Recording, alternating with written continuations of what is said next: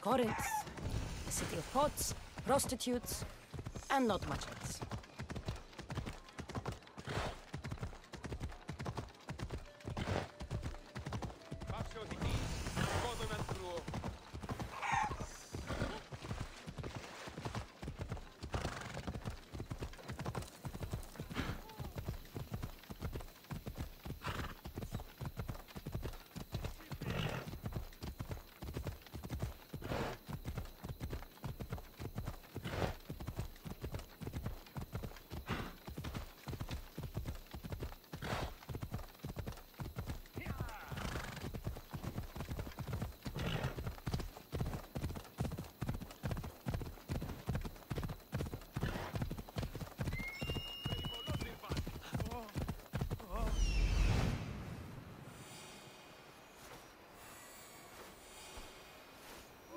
temple on top of the Acrocorinth.